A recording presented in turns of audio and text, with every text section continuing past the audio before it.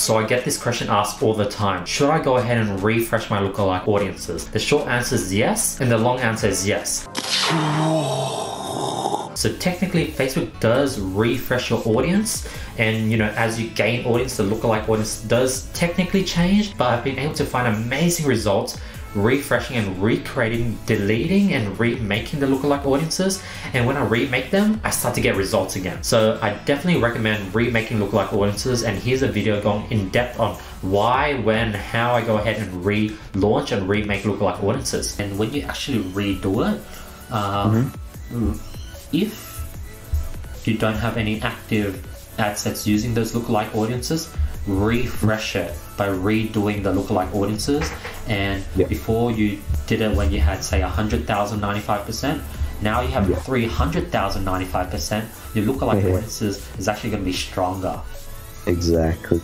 Um, and you uh, don't want to refresh your lookalike audience if you have current winning ad sets that is using your say worldwide 5% yeah 95% lookalike audience Oh wait, by when you say refresh, what do you mean? Like, do you mean um not create the audience again so it has like a?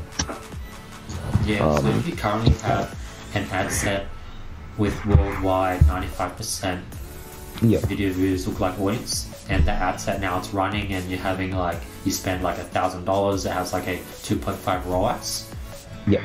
You can't redo the ninety five percent worldwide lookalike audience because uh, it's currently active. As you can see, pretty straightforward, gave you guys a realistic answer. Go ahead and remake your lookalike audiences. Obviously, like if you go ahead and went from an audience size of 10,000 to 100,000, Facebook does re-optimize things, but you're better off remaking your lookalike audience with your new, fresh, sort of updated audience um, and make new lookalike audience off it. I think you know I've been able to get better results. My students have been get, able to get better results and re-jog and refresh their campaign by doing that and sort of make it last a bit longer. So I highly recommend you guys to do it. Before we end today's video, let's start by announcing last video's winners for $1,000 worth of courses or consulting calls with me. The winners here. If you guys want to qualify, to do is drop a comment below, follow me on Instagram, hit the subscribe button, hit the notification bell, and I'll be picking the best comment every single video.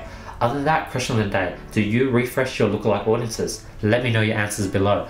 By the way, don't forget to hit the like button, hit the subscribe button. I've been giving you guys value every single day. That's all I ask. So help me blow up my channel because I've been giving so much value completely for free. I don't ask anything and that's my only simple request. So if you guys can help me with that, that would be amazing. Be seeing you guys tomorrow with more value. Peace.